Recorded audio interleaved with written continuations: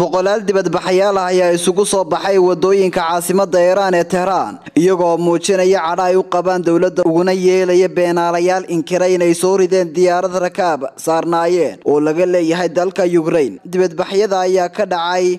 banaanka ugu yaraan laba jaamacadood iyadoo la sheegay in booliiskuna uu adeegsaday sunta dadka kaga ilmaysiisa. Madaxweynaha maraykanka donald trump ayaa bartiisa twitter-ka taageero uga muujiyey dibadbaxayaasha iiraan ayaa shalay qiratay inay si kama ah u soo riday diyaaradda saddex maalmood kadib burburkii diyaaradda ay ku dhinteen dhammaan boqol iyo lix iyo toddobaatan qof oo saarnaa duulimaadyada ukraine international airlines ee b s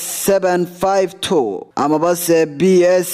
toddoba shan laba. Ayaa arbacadii lagu soo riday meel u dhow garoonka imaam khamuuni ee magaalada tehraan wax yar kadib markii ay halkaasi ka duushay iyo saacado yarun kadib markii ay iiraan gantaalo ku tuurtay laba saldhig oo ciidamada maraykanku ku leeyihiin ciraaq. Weeraradaasi ayaa waxaa iiraan ugu jawaabtay dilkii maraykanka uu geystay qaasim sulaymaani oo lafdhabar u ahaa militariga iiraan cabdirashiid maxamuud maxamed wararka star t v